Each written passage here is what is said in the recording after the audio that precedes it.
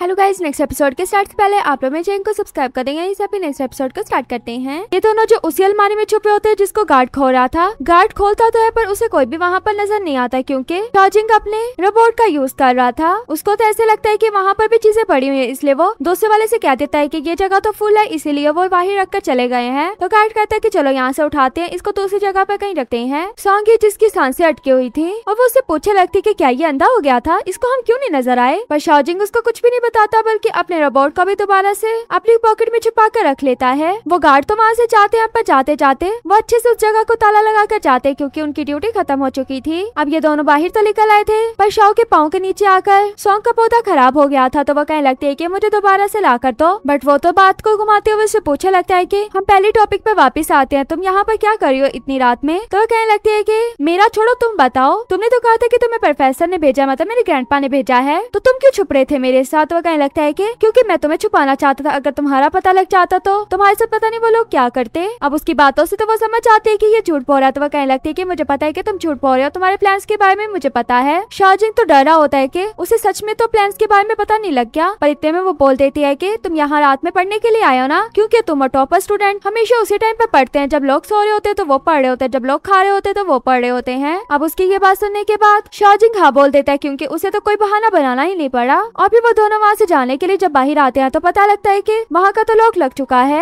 ये देखते साथ ही सोंगी तो अपनी जगह बना लेती है बैठने के लिए, और साथ में शाजिंग को भी बिठा लेते शाजिंग कहने लगता है की हम यहाँ पर क्यों बैठे हैं? तो कहने लगते है की हम सुबह होने का वेट करेंगे, क्यूँकी अब ये लोग सुबह में ही खुलेगा। तो फिर वो भी चुप करके उसके साथ ही बैठ जाता है, जबकि वो तो अपनी लाइफ के बारे में उसे बताने लगते हो कहने लगती है की मुझे तो ये जगह बहुत अच्छी लगती है, मुझे लगता है तुम्हें नहीं अच्छी लगती। और मेरे पेरेंट्स भी नहीं है, और पेरेंट्स के बारे में कोई मुझसे बात भी नहीं करता। सबको लगता है की मुझे बुरा लग जाएगा, और लोग बात नहीं करते तो मैं भी अपने पेरेंट्स के बारे में कभी भी बात नहीं करती। अब उसके पेरेंट्स वाली बात सुनकर शाहजी सोचने लगता है कि कभी भी इसने पेरेंट्स के बारे में बात नहीं की थी वैसे। पर आज देखो पता नहीं कैसे बता रही है। इतने में वहाँ पर बाई स्टार्ट हो जाती है तो सॉन्गी कहने लगती की मैं तो अम्ब्रेला लेकर ही नहीं आई। इतने में शाहजिंग अपने रोबोट को अम्ब्रेला बना लेता है। तो वो कहने लगती की तुम अम्ब्रेला कब लेकर आए? मैंने तो तुम्हें पकड़े हुए नहीं देखा। पर फिर भी वो ज़्यादा क्वेश्चनिंग वगैरह नहीं करती। और उसके साथ अम्ब्रेला में आ जाती है। और उसको अपने मॉम डैड के बारे में बता रही होती कह रही होती की ग्रैंड ने कभी भी नहीं बताया की मेरे मॉम डैड की डेथ कैसे हुई। इसलिए मुझे लगता है की उनकी डेथ मेरी वजह से हुई है। यही बातें करते हुए वो उसके कंधे पर सर रख के सो जाती है। शाहजिंग भी उसे कुछ भी नहीं कहता, बल्कि अपने रोबोट दोस्त शासु को वहाँ से भेज देता और कहने लगता है कि किस को ढूंढ कर लाओ। वो बेचारा जा तो रहा होता पर जाते जाते कह रहा होता है की, ठीक है, तुम दोनों डेट करो, मुझे यहाँ से भेज लेना तुम दोनों ने। शाहजिंग दिखाया जाता है जो अपने टाइम में वापस पहुँच अपनी सिस्टर को देखने जाता है। वहाँ पर अपनी सिस्टर को इस हालत में देख डॉक्टर पे चिल्लाने लगता है, जबकि डॉक्टर से कहने लगता है की, मेरे हाथ में क्या मेरे पास तो इसका ट्रीटमेंट करने के लिए वो मेडिसिन भी नहीं है। अगर तुम ले आते हो तो ठीक है ना? मैं तुम्हारी सिस्टर का ट्रीटमेंट कर दूँगा। तो जैसे उसकी सिस्टर को वो आती है तो वो जल्दी से अपनी सिस्टर के पास चला जाता है। उसको जाकर प्यार वगैरह करता है। इधर हमेशा उसे दिखाया जाता है, जो कि इसको ढूंढ रहा होता है। और मुँह में डालकर की इसको लेकर आया था। कैमरा इसकी लाइव देखने लगता है, जहाँ पर उसे अपना मास्टर भी नज़र आता है उन दोनों को। देख कहने लगता है की ह्यूमन क्यूट होते हैं। शॉजिंग जो अच्छे से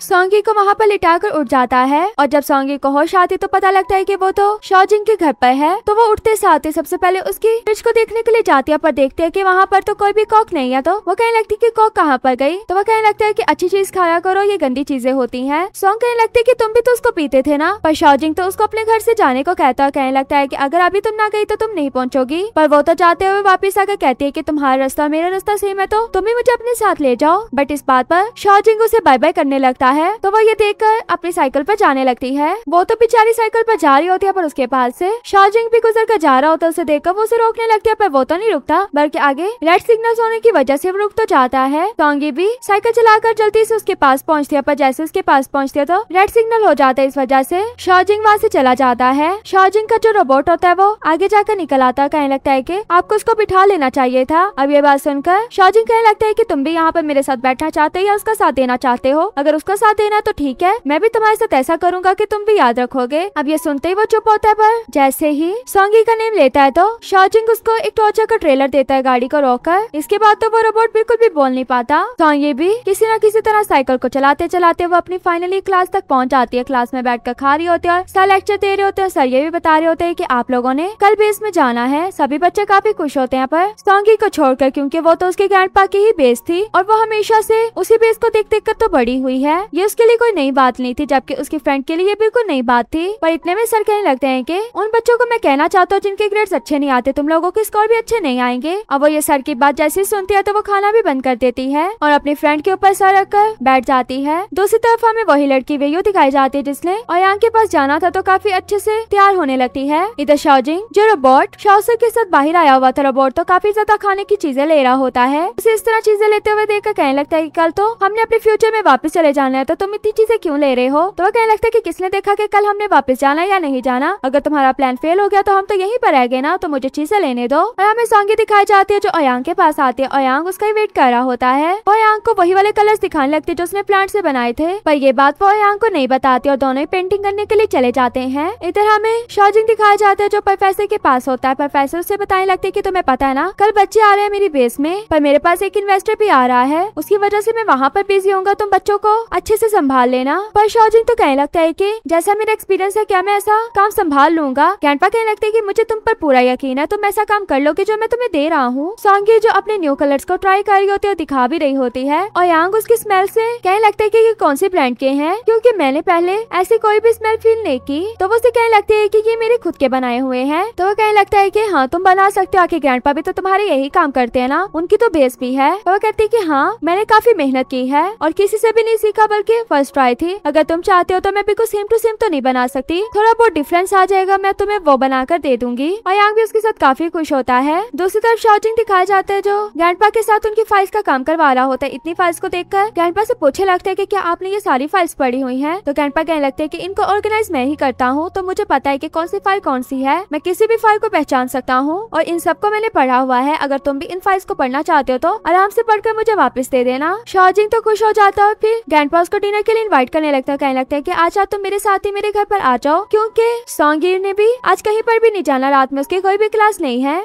भी फ़ौरन से की बात पर मान जाता है जाने के लिए। इधर सॉन्गी दिखाई जाती तो दोनों साथ में बैठकर पेंटिंग वगैरह कर रहे होते हैं तो। अयांग के फेस पे पेंट लग जाता है तो। सॉन्गी उसके फेस को साफ़ करते हुए और पेंट लगा देती है। और यही से इन दोनों का खेल स्टार्ट हो जाता है। दोनों एक दूसरे के साथ काफ़ी फन कर रहे होते हैं। फिर हमें वही लड़की वीडियो दिखाई जाती है जो यहाँ पर आने के लिए तैयार हुई थी। और फाइनली वो यहाँ पर आ भी जाती है दोनों को एक साथ देखकर। कहने लगती है कि तुम दोनों ये क्या कर रहे हो? अब दोनों ही उसको देख कर वहीं पर रुक जाते हैं। और यांग उसके पास जाता है कहने लगता है की क्या तुम यहाँ पर मास्टर से मिलने के लिए आई हो? तो वो कहने लगती है की हाँ तो वो उसे बताता है कि वो यहाँ पर नहीं है। अगर तुम उन्हीं से मिलना चाहते हो तो यहाँ पे बैठ के या तो उनका वेट कर लो या कुछ टाइम बाद आ जाना। पर वो मास्टर ना होने की वजह से अयांग से बात करने लगते कहने लगते है की, मुझे तुम्हारी पेंटिंग्स वगैरह काफ़ी पसंद है, क्या तुम मेरे साथ काम करोगे? मैं तुम्हारे काम में इन्वेस्ट करूँगी। अयांग उसकी ये बात सुनकर कहने लगता है की, मुझे तो लगा था की तुम मेरी फ़ैन हो, पर ऐसा कुछ भी नहीं, बस तुम तो अपनी कंपनी के लिए आई हो। तो वो कहने लगती है की फ़ैन और कंपनी दोनों एक साथ चलाने पड़ते हैं। अब सॉन्गी जिसको जल्दी जाना था घर, वो तो इन दोनों को बातें करते देख कर कहने लगती है की, मैं घर चलती हूँ। बट ओयांग ने उसको अकेले कहाँ जाने देना था? वो भी उसके साथ जाने लगता इनको कहकर चाहता है की आप लोग यहीं पर बैठ कर वेट करो। वेयो को तो उस पर इतना गुस्सा आ रहा होता है की अपने गार्ड से कहती है की, इस लड़की के बारे में मुझे पता करके बताओ, ये कौन है? और यही पर हमारा ये पार्ट भी एंड हो जाता है वीडियो। अच्छी लगे तो वीडियो को लाइक करना।